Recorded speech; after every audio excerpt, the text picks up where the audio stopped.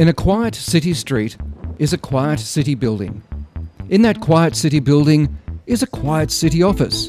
And in that quiet city office, um, well,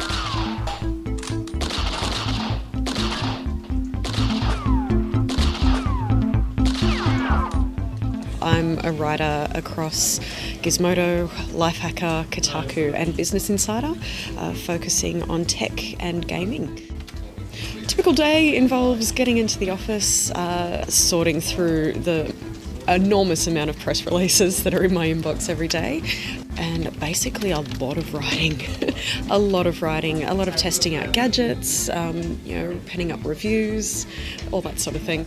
Uh, gaming is a big part of what I do. Um, not so much at the office, though. I think there's a little bit of a misconception that uh, if you write about video games, that means you just sit in the office playing them all day. But most of my gaming time is actually in my own time. It's it's at home.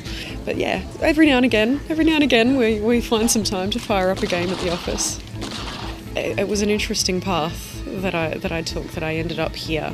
Uh, I started off doing acting and voiceover work, and then I fell into presenting. And one of my first presenting gigs was actually reviewing video games because I've been a gamer my whole life.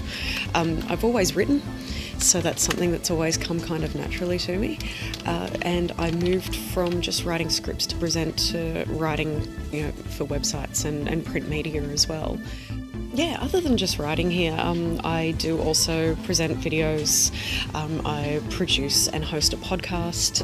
Um, I also represent the sites in other forms of media. So I will go on morning television on mornings on behalf of Kotaku or Gizmodo or Lifehacker, depending on what we're talking about.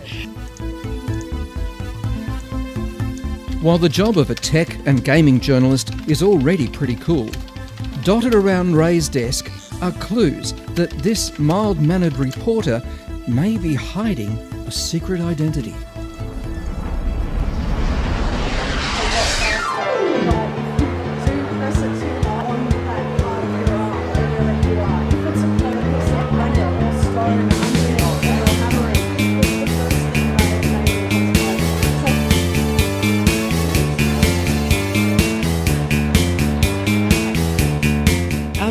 Cosplay is dressing up basically. It's kind of like when you go to a costume party, but it's at a convention and there's tens of thousands of people also doing it. I find it the most wonderful way to express your fandom. You don't necessarily have to make your own costumes either. I think that's a bit of a, a myth surrounding it. Uh, there's absolutely nothing wrong with getting someone else to make it or even just buying one online. It doesn't matter. As long as you're having fun, that's the main thing. The thing about this part of my job that's really cool for me is it's actually kind of an incredible experience. I get to travel all over the country, go to every Oz Comic Con. I get to be really deeply involved in the Australian Championships of cosplay. So I get to see basically the most dedicated geeks in the country, which is really, really awesome.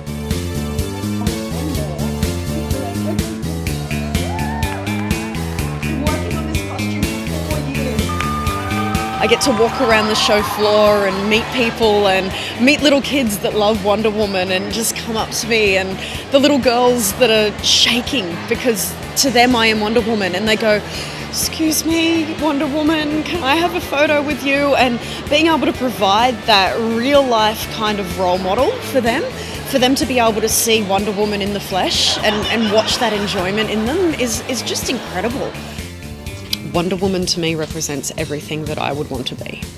Uh, she is my role model. I know that it seems strange to have a, a, role model that's a fictional character, but her compassion and strength, her integrity and her sense of justice, and the way that she goes about solving problems with a non violent goal at first.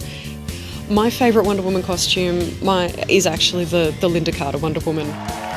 She's your Sydney finalist I wouldn't be touring with Oz Comic Con if I was just Rae Johnston the cosplayer. I wouldn't be writing for Kotaku Gizmodo if I was just Rae Johnston the writer. So it's all just really kind of part of what I do. I don't really consider them separate jobs, I suppose, which is interesting because technically they are. Technically it's not the same job, but I wouldn't have one without the other. That hard work and positive attitude have enabled Rae to absolutely nail that coolest of all cool jobs getting paid to do something you love. My advice to anyone that's wanting to write uh, or review tech or video games is to make sure that you love writing. It's not just about the tech, it's not just about the games. You need to love the process of writing because that's what you're going to spend most of your time doing. Um, I think making sure that your voice is distinct is important. There's a lot of people that want to do what you want to do, so you need to make sure it's something that differentiates you from all the other voices out there. Um, you know, start a blog, start writing, practice writing, write every day, network, engage with other people that are doing what you want to be doing on social media or on Twitter. Don't harass them every day for jobs, but involve yourself in conversations about topics that you have researched and written about, and maybe link to your article and ask for some feedback.